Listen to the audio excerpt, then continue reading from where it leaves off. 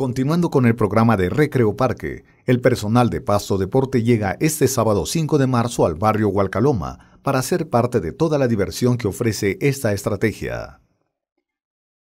El equipo del instituto integrará a las familias con recreación dirigida, manualidades, inflables, actividad física y exposición deportiva, acompañadas del personal profesional en estas áreas de la recreación y fomento de la vida saludable.